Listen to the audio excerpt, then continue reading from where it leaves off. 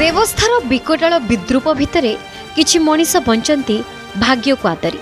ହୁଏତ ସେମାନଙ୍କ ଲୁହ ଆପଣଙ୍କୁ କାନ୍ଦଣାର କାରିଗରୀ ପରି ଦିଶୁଥାଇପାରେ ସୁଶୀଲା ରହି ସେମାନେ ସଂଘର୍ଷ କରନ୍ତି ବ୍ୟବସ୍ଥା ବିରୋଧରେ ରାଜନୀତି ବିରୋଧରେ ପୁଣି ସ୍ୱେଚ୍ଛାଚାରୀ ଶାସକଙ୍କ ବିରୋଧରେ। ଏଇ ଯେମିତି ଏମାନେ କରୁଛନ୍ତି। କେନ୍ଦ୍ରାପଡ଼ା ଜିଲ୍ଲା ପାଟକୁରା ନିର୍ବାଚନ ମଣ୍ଡଳୀ ଅନ୍ତର୍ଗତ ପାଟକୁରା ପଞ୍ଚାୟତ ଚକବାହାକୁଦ ଗ୍ରାମର ଅସହାୟ ଚାଷୀ ଅଜୟ ନାୟକ ଓ ଶତ୍ରୁଘ୍ନ ବାରିକ। ଦୁଇ ପରିବାର ପାଞ୍ଚ ବର୍ଷ ହେବ ବସୁଧା ଯୋଜନାରୁ ପିଇବା ପାଣି ପାଇବାରୁ ବଞ୍ଚିତ।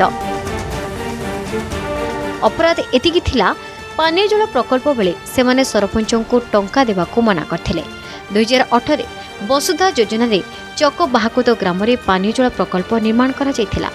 ପାଟକୁରା ପଞ୍ଚାୟତର ସରପଞ୍ଚ ପାଇପ୍ ଯୋଗାଇବା ନାଁରେ ବେଆଇନ ଚାନ୍ଦା ଆଦାୟ କରି ପାଣି ସପ୍ଲାଇ ଦେଇଥିଲେ। କିନ୍ତୁ ଅଜୟ ଓ ଶତ୍ରୁଘ୍ନଙ୍କ ପରିବାର ହଜାର ଟଙ୍କା ଦେବାକୁ ମନା କରିଥିଲେ। ସେବେଠାରୁ ଘରକୁ ସଂଯୋଗ କରିଥିବା ପାଇପ୍ ପାଣି କାଟି ଦିଆଯାଇଥିଲା। ସେହିଦିନଠାରୁ ପିଇବା ପାଣି ଯେମିତି ସାତ ସପନ। ଆମେ ଏଠୁ ପାଖାପାଖି ଅଢ଼େଇ କିଲୋମିଟର ଦୂର ଆମ ଘର ଆଗକୁ ଅଢ଼େଇ କିଲୋମିଟର ଦୂରକୁ ଆମକୁ ଯିବାକୁ ପଡ଼ୁଛି। ଗୋଟେ ମଠ ଅଛି ଆଗରେ ଆପଣ ଦେଖିପାରିବେ। ସେଠୁ ଗଡ଼ିଆ ପାଣି ଆମେ ଆଣୁଛୁ। ଯଦି ଗଡ଼ିଆକୁ ପାଣି ଯିବୁ ଯିବୁ ନହେଲେ ଆମେ ପିଇ ପିଇ ବି ପାରିବୁନୁ। ଯିଏ ପାଣି ଚଲାଉଛି ଯୋଉ ପିଲା ସେ ଆସି ମାଗିଲା ପଇସା କହିଲା ପାଞ୍ଚଶହ ଟଙ୍କା ଦେ। ମୁଁ କହିଲି ପାଞ୍ଚଶହ ଟଙ୍କା କ'ଣ ପାଇଁ ଦେବି? ନା ହଁ ପିଲା କହିଛନ୍ତି ପାଞ୍ଚଶହ ଟଙ୍କା ଦେ। ତମେ ଦେ- ସରପଞ୍ଚ କହିଛି। ତାପରେ ମୁଁ କହିଲି ମୁଁ ପାଞ୍ଚଶହ ଟଙ୍କା ଯଦି ସମୟ ଦେଉଥିବି ମୁଁ ଦେବି। ଜାଣିଲେ? ମୁଁ ଯଦି ନାହିଁ କଲି ତାପରେ ସେ କ'ଣ କଲା ସେ କ'ଣ କଲେ ରା- ସେଇଦିନ ରାତିରେ ଆମେ ଆଉ ଜାଣିନୁ ଶୋଇଛୁ ସେ ପାଇପ୍ ଉଠେଇ ନେଇଗଲେ ଯଦି ପାଇପ୍ ଉଠେଇ ନେଲେ ପାଇପ୍ ମୁଁ ସେଠୁ ସରପଞ୍ଚକୁ ପଚାରିଲି। ସରପଞ୍ଚକୁ ମୁଁ ପଚାରିଲି ମୁଁ କହିଲି ପାଇପ୍ କ'ଣ ଆମର ଗଲା? ସମିତିକରେ ପାଣି ଯାଉଛି ଆମର କ'ଣ ପାଇପ୍ ଉଠେଇ ନେଲେ? ନା କେଜାଣି ସେ କରବାବୁ ନେଇଥିବ। ସାଙ୍ଗେ ସାଙ୍ଗେ ଫୋନ୍ କଲା ମିଛରେ ପ୍ରକ୍ରିୟା ଆଣି ପୁରେଇ ଦେଲା ଆଉ ଫୋନ୍ କଲାନି। ଯେଉଁଟା ପୂର୍ବତନ ଆମର ସରପଞ୍ଚ ଥିଲା। ଯଦି ଥିଲା ଆଉ ପାଣି ନାହିଁ। ପାଣି ଯାଇକିରି ଏସ୍ଟିଓଙ୍କୁ କହିଲି କ- କେନ୍ଦ୍ରାପଡ଼ା ଜିଲ୍ଲାପାଳ ଯେଉଁ ସିଟି ଯାଇ ରିଭାନ୍ସରେ ଦେଲି ଗର୍ଦ୍ଦପୁର ରିଭାନ୍ସରେ ଦେଲି। ତାପରେ ଏଇଠି କ'ଣ ଗର୍ଦ୍ଦପୁରରେ ଜେଇ ଆସିକି ଆକୁ ଦେଖିକିରି ଗଲେ। ମୁଁ ଦାବି ରଖୁଛି ମୋ ପାଣି ଟୋପାଇ କେମିତି ମୋତେ ମିଳୁ? ଯଦି ପାଣି ମୋତେ ତ ନଦେବେ ତାହେଲେ ମୁଁ ଆତ୍ମହତ୍ୟା କରିବି ଆଉ କ'ଣ କରିବି?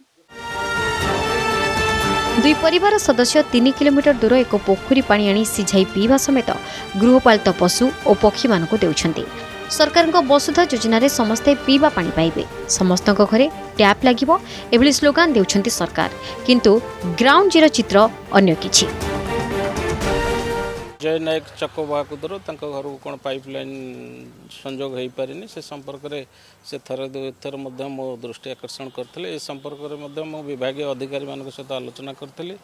ଯେହେତୁ ବର୍ତ୍ତମାନ ସରକାରଙ୍କ ନିଷ୍ପତ୍ତି କ୍ରମେ ଆମ ବ୍ଲକରେ ମେଗା ପାନୀୟ ଜଳ ପ୍ରକଳ୍ପର ଶୁଭାରମ୍ଭ ହୋଇଛି ତେଣୁ ଆମେ ସେ ବାବଦରେ ଆଉ ପଞ୍ଚାୟତ ତରଫରୁ କିଛି କରିପାରିବୁନି। ସେଇଟା ବିଭାଗୀୟ ଅଧିକାରୀମାନେ ମେଗା ୱାଟର ସପ୍ଲାଏରେ ସେଇଟା କନେକ୍ସନ୍ ଦେବେ ବୋଲି ନିଷ୍ପତ୍ତି ହେଇଛି ସେଇଟା ତ ନିଶ୍ଚିନ୍ତ ଭାବରେ ସତ କଥା ଯେହେତୁ ଏଇଟା ଅତ୍ୟଧିକ ଗ୍ରୀଷ୍ମ ପ୍ରବାହ ତେଣୁ ପାଣିର ଆବଶ୍ୟକତା ଅଛି। ତେଣୁ ସେ ସମ୍ପର୍କରେ ଆମେ କେବଳ ବିଭାଗୀୟ ଅଧିକାରୀମାନଙ୍କୁ ଜଣାଇଛୁ ଏବଂ କେମିତି ତାର ସମସ୍ୟା ସମାଧାନ ହେବ ସେ ସମ୍ପର୍କରେ ସେ ମଧ୍ୟ ପଦକ୍ଷେପ ଗ୍ରହଣ କରିବେ ବୋଲି କହିଛନ୍ତି। କେନ୍ଦ୍ରାପଡ଼ାରୁ କ୍ୟାମେରାମ୍ୟାନ୍ ସରୋଜଙ୍କ ସହ ପ୍ରଭାତ ଲିଙ୍ଗାଙ୍କ ରିପୋର୍ଟ ଅର୍ଗସ୍ ନ୍ୟୁଜ୍।